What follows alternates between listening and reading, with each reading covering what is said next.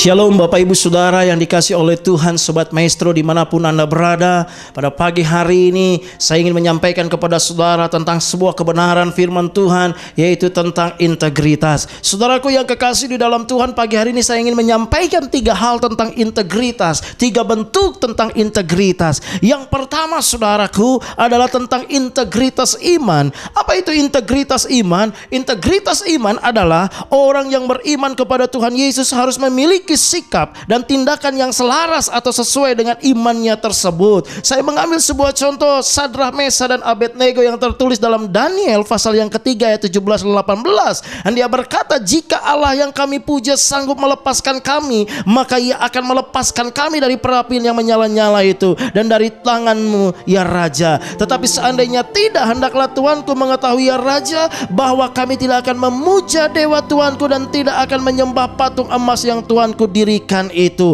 Saudaraku yang kekasih di dalam Tuhan, sebagai orang percaya yang pertama saya ingin menyampaikan kepada saudara, milikilah integritas iman. Karena integritas iman itu bisa mendatangkan mujizat dalam hidup saudara, bisa mendatangkan kuasa Allah dalam hidup saudara. Milikilah integritas iman dalam hidup saudara.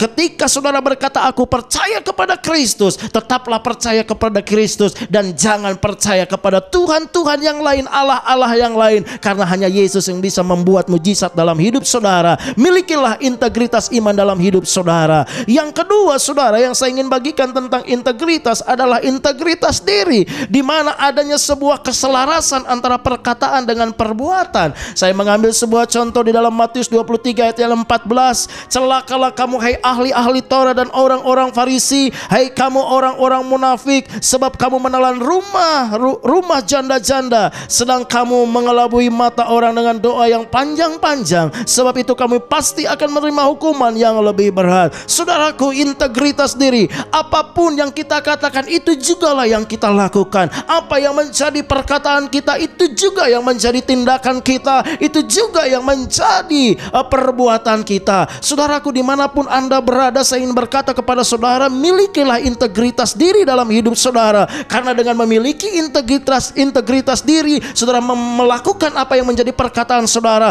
maka kuasa Allah pun akan dinyatakan dalam hidup saudara. Kemuliaan Allah akan dinyatakan dalam hidup saudara karena saudara memiliki integritas diri yang luar biasa dalam hidup saudara. Yang ketiga, saudara, saya ingin menyampaikan kepada saudara bahwa saudara sebagai orang percaya harus memiliki integritas pekerjaan atau pelayanan. Apa yang dimaksud dengan integritas pekerjaan atau pelayanan? Menjadi orang yang dapat dipercaya dalam pekerjaan atau pelayanan pelayanan sekalipun pekerjaan atau pelayanan tersebut adalah pekerjaan atau pelayanan yang sederhana atau yang kecil. Di dalam 2 Samuel 23 ayat 11 dan 12 sama seorang anak Ag, orang Harari yang berhasil mempertahankan sebidang tanah yang penuh dengan kacang merah dari orang-orang Filistin. Saudaraku yang kekasih di dalam Tuhan, milikilah integritas pekerjaan dan atau pelayanan saudara. Mungkin saudara diberikan pekerjaan yang kecil kecil, usaha yang kecil, bisnis yang kecil, mungkin pelayanan yang kecil. Saya saudara milikilah integritas pekerjaan atau pelayanan itu. Saya percaya ketika saudara setia di situ, saudara akan diberikan yang lebih besar, saudara akan diberikan yang lebih luar biasa. Saudara yang kekasih di dalam Tuhan, kenapa saudara dan saya memiliki integritas itu?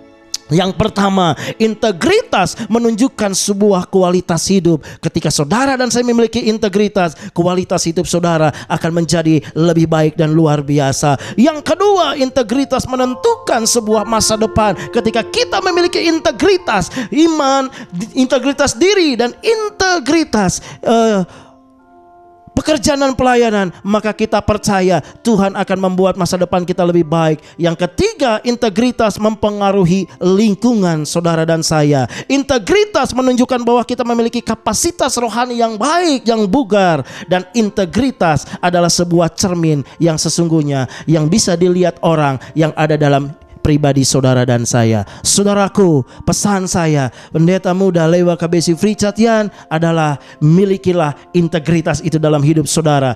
Iman integritas diri dan pekerjaan atau pelayanan saudara. Saya percaya semuanya akan menjadi berkat bagi banyak orang dan Tuhan memberkati saudara lebih dan lebih lagi, mengangkat saudara lebih naik dan bukan turun dan membuat saudara menjadi kepala dan bukan ekor. Saya pendeta muda Lewa KBC Richard Yan dari Gereja Betel Indonesia Terang Kemuliaannya Kapitol Plaza BB6 BB7 berdoa supaya saudara memiliki integritas itu. Shalom, Tuhan Yesus memberkati saudara.